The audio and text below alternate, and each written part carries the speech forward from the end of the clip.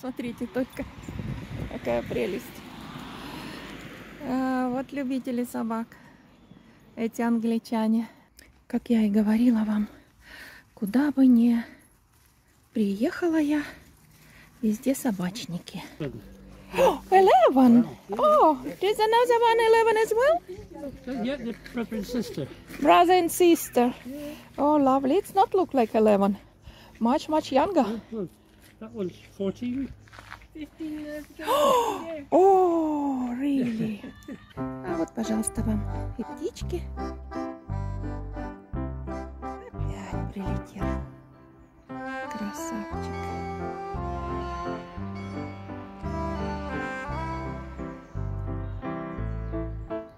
Это любимая птичка Робин по-английски, а по-русски это малиновка. Поет великолепно.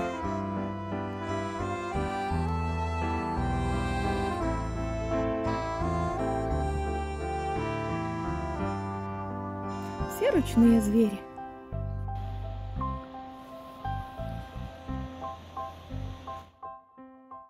Снова всем привет, друзья! Привет из солнечной Англии. Солнечной я ставлю в кавычечки, потому что в Англии у нас погода не очень. Ночью сегодня было минус 3, а сейчас вот 6 градусов плюс. И сегодня у нас четверг, 9 февраля 2023 года. Но так как я веду свой канал из Англии, несмотря на то, что я буду сегодня вам рассказывать о Таиланде, показывать Паттайю, и сегодня я буду вам рассказывать о том, какие изменения там произошли в Таиланде, ну и съемочки небольшие очень красивых мест. И я также вам скажу, как получилось так, что я приехала э, в Таиланд, в общем-то, одна.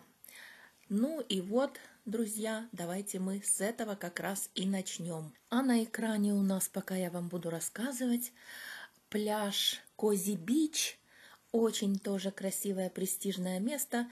Здесь великолепный вид, потому что Кози-Бич расположен на холме, недалеко от холма Будды.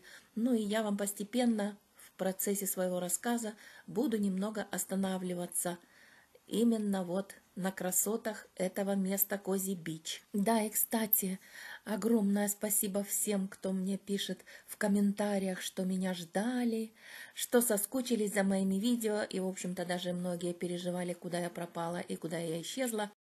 И я никуда не пропала, я опять тут, снова с вами, друзья, и я обещаю, что я никуда не денусь впредь, потому что огромная ответственность когда у меня на канале уже более 70 тысяч подписчиков, друзья.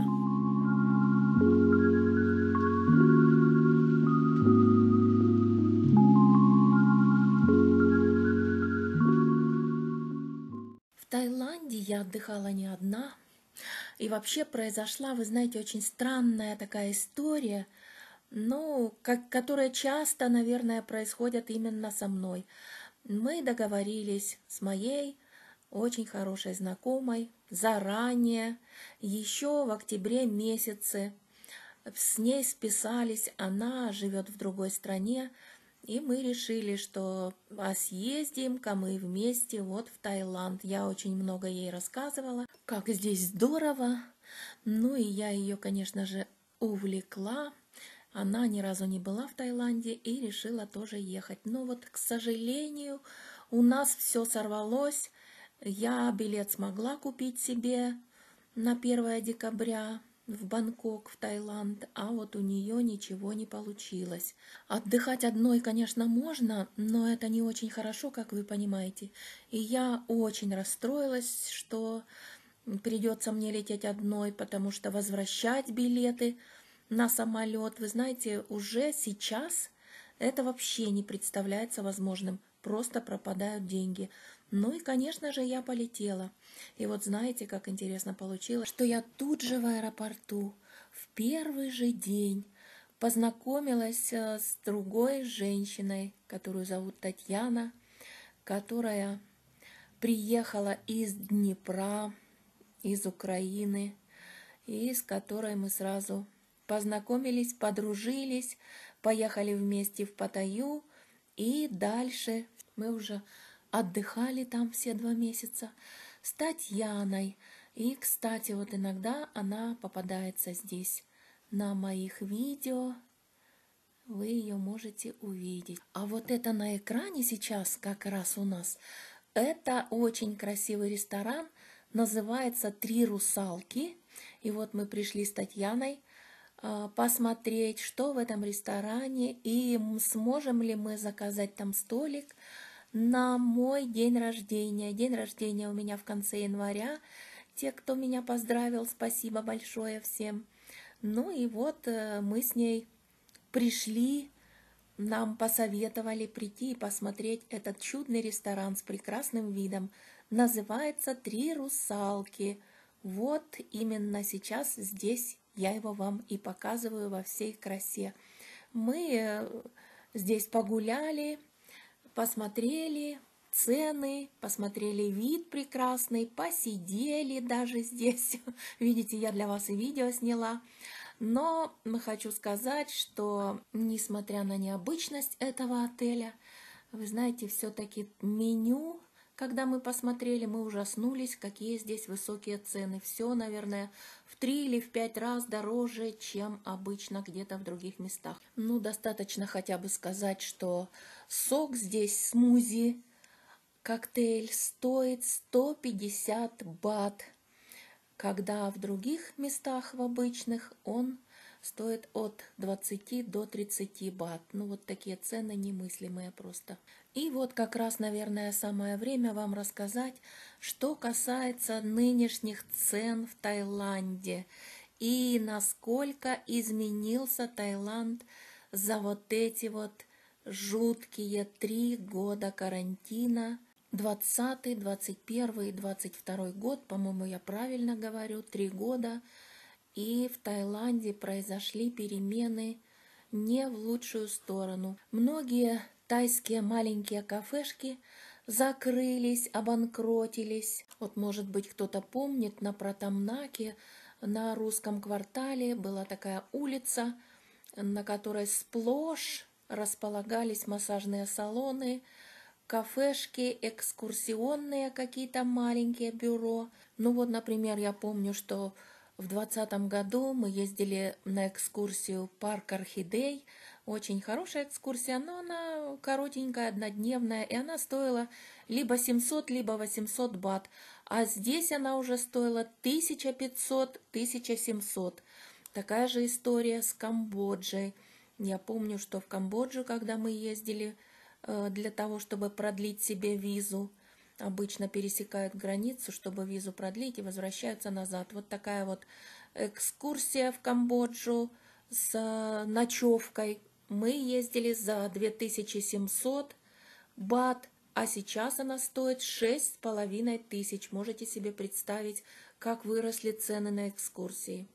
Вообще надо сказать, что эти три года ковида, они дались Таиланду очень нелегко.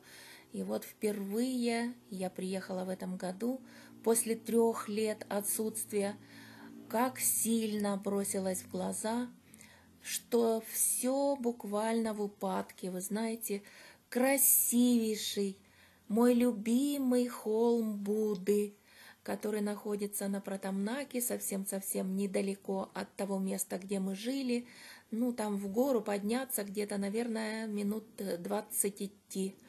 И я там все время была в прошлые года.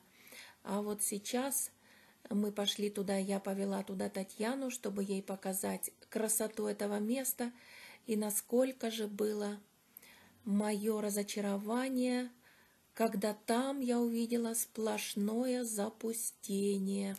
Я даже, вы знаете, не сделала там ни одного видео, потому что не захотела даже и вас разочаровывать.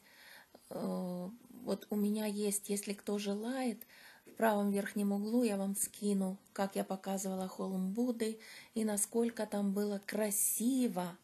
Все было чистенько, ухожено, было очень много посетителей, всегда там играла расслабляющая буддистская музыка, и туда хотелось приходить и приходить. Но вы знаете, может быть даже есть какие-то и свои плюсы, а не только минусы в том, что Таиланд отдохнул от такого огромного количества туристов. Вот смотрите, я вам показываю центральный пляж как раз на Протамнаке по шестой сойке вниз, где мы обычно всегда и отдыхали. Так вот, обратите внимание, очень чистый берег, очень чистая вода в Сиамском заливе, чего, в общем-то, раньше, наверное, не хватало. Так, здесь на городском пляже, я помню, раньше было достаточно грязно, скажем так. А сейчас просто великолепная прозрачная вода, и не надо ездить на Калан для того, чтобы насладиться купанием в этой теплой воде Сиамского залива. Вы знаете, температура воды плюс 27. Я специально узнавала. И вот в такой теплой, комфортной воде можно было, конечно, плавать часами, что, в общем-то, мы и делали. Приходили на этот пляж а, и по два, по три часа делали заплывы. Сиамский залив он, э, вы знаете, не страшный, там нет никаких страшных рыб или еще чего-либо подобного. Там, по-моему, даже и медуз-то нет. Если они есть, то они совсем-совсем малюсенькие, и они не мешают практически. Ну и потом посмотрите, какая тень шикарнейшая на всем этом пляже. Вот как называются это, эти деревья, которые там растут. Это не пальмы, конечно же, от пальм мало солнца, мало тени. Солнце в Таиланде очень сильное. Температура средняя была в декабре в январе плюс 30, плюс 33. Довольно жарко, поэтому, знаете, находиться на открытом солнце даже и опасно. Но даже и находясь в тени, за два месяца все мы имели прекрасный бронзовый загар. Да, и еще – Именно на этом пляже, в тени этих деревьев, можно было часто встретить медитирующих людей. И это были, как ни странно, не тайцы, а европейцы. Скорее всего, что они пытались достичь просветления так же, как и Будда в свое время достиг просветления под религиозным деревом Бодхи. Дерево Бодхи – это в общем-то, обычный фикус. Его можно в Таиланде встретить очень часто. И вот э, чаще всего это дерево, оно обвязано множеством ленточек. Вот повязывание ленточек на деревьях, где-то на пальмах, на лодках – это признак очень большого поклонения и уважения в Таиланде. Ну а я на пляже в Таиланде и утром, и вечером – занималась физкультурой. Вот в частности, вот жгонка. Если не знаете, обязательно почитайте про это великолепное упражнение. Оно легкое, и тем не менее говорят, что оно вообще от всех полезней. Посмотрите, почитайте. Мне это упражнение очень-очень помогло. Ну и вообще в Таиланде климат для меня, наверное, просто потрясающий. То, что я вам рассказывала, когда я вернулась в Англию, я спала несколько дней, не могла в себя прийти, валялась, и мне сказали, что это у вас адаптация. Да, понятно, конечно, адаптация, потому что разница во времени 7 часов и такие длительные перелеты. Но самое-то интересное то, что когда я прилетаю в Таиланд, я чувствую себя великолепно просто с первого дня. Никакой адаптации – Ничего подобного не происходит. Я просто начинаю сразу бегать очень активно и включаюсь моментально в эту жизнь. Я в Таиланде худею. Вот опять за два месяца я без проблем похудела на 12 килограмм, почти на 12 килограмм. И вот вы знаете, это было абсолютно нетрудно потому что жарко, кушать не хочется, потому что очень много двигаемся, очень много плаваем. И вы знаете, легкость появляется буквально с каждой неделей и с каждым потерянным килограммом все легче и легче становится жить. Как вы, наверное, уже поняли, Таиланд – это моя любовь. Э, я себя здесь чувствую лучше, чем где-либо.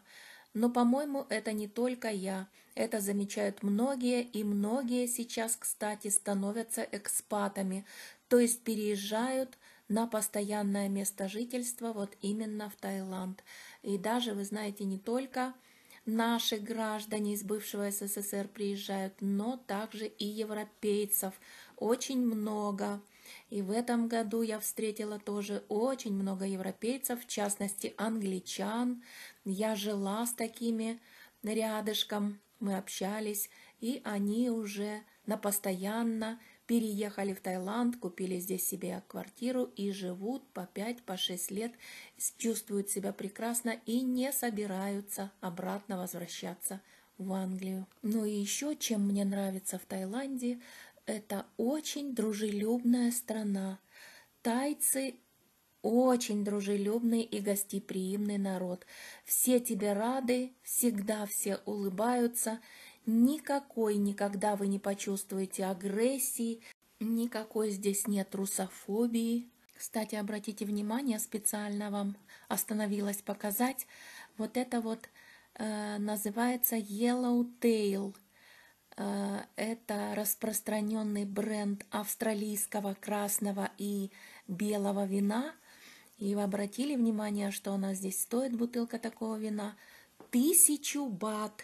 Курс одного фунта в Таиланде был 40 э, бат, то есть получается, что 1000 э, бат это 25 фунтов, а вот в Англии такая бутылка вина стоит всего лишь навсего 7 фунтов.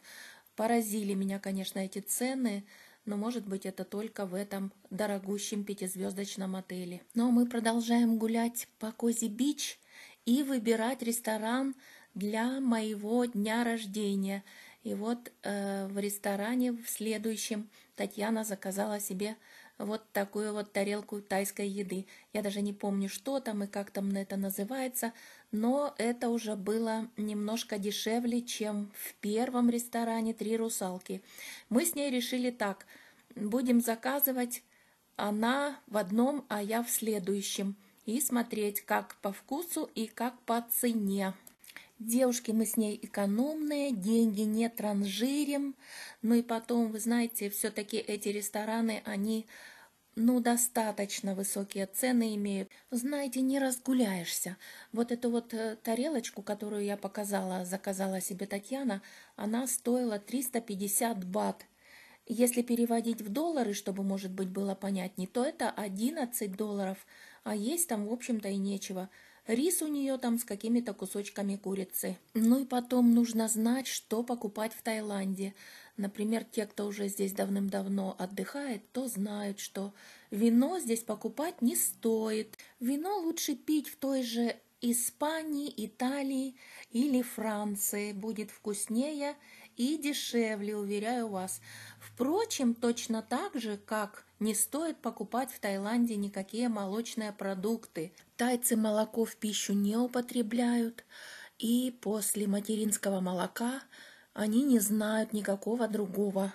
Поэтому вот они сейчас в связи с тем, что много туристов, европейцев, стали э, развивать молочную какую-то небольшую промышленность, разводить коров, но молоко очень дорого. Молоко в Таиланде в два раза дороже, чем в Англии. Ну и сыры, конечно, тоже очень дорогие и невкусные. Ну а мы пришли в другой ресторан, и в другом ресторане, как я вам и говорила, заказала себе еду я.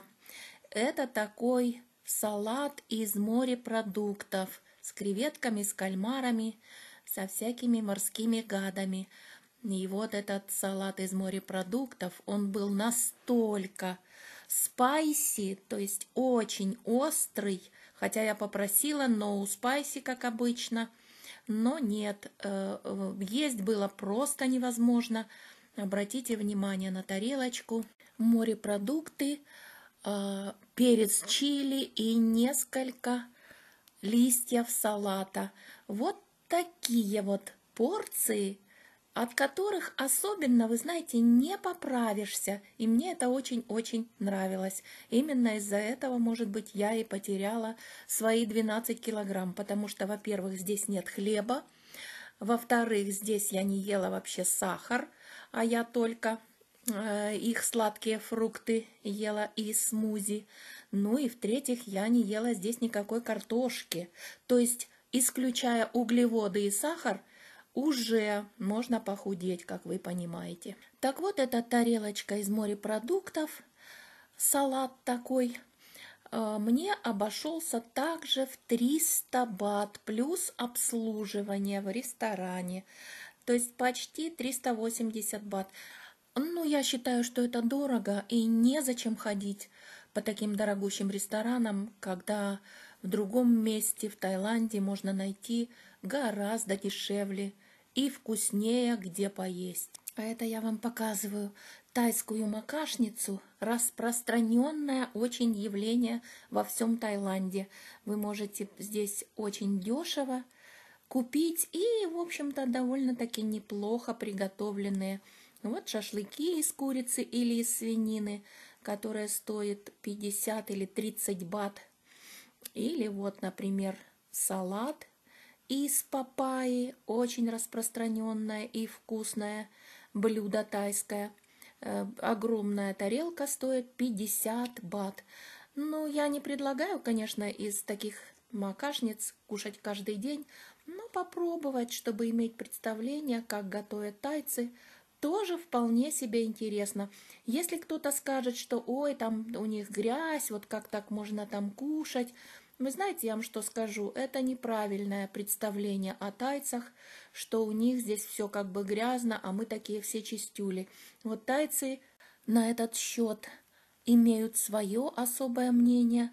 Они, например, считают наоборот, что пришлые люди из Европы, которых они называют фаранги, вот, наверное, от английского слова foreign, иностранец, у них называют всех приезжих фарангами – не значит, что они плохо к ним относятся, но они считают, что вот именно фаранги – это люди грязные. Почему они так считают? Это, если кто-то хочет поподробнее узнать, вам видео всплывет мое справа вверху, как обычно.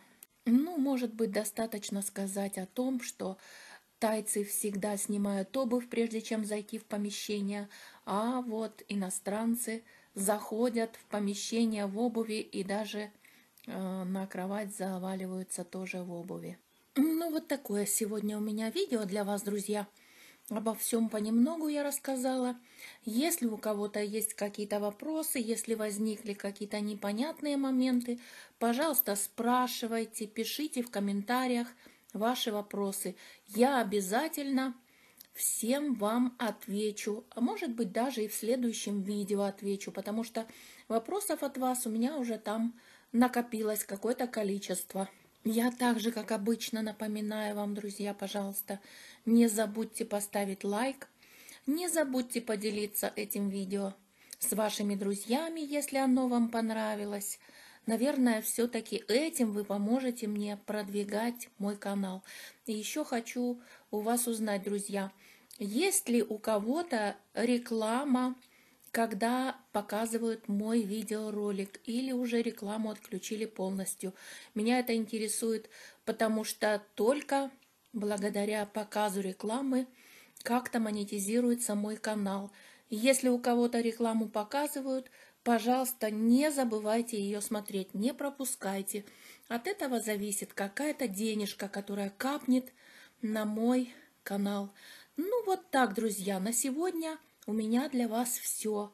Я, как обычно, всех вас прошу, пожалуйста, берегите себя, будьте аккуратнее и всего вам доброго. Увидимся еще. Всем пока-пока.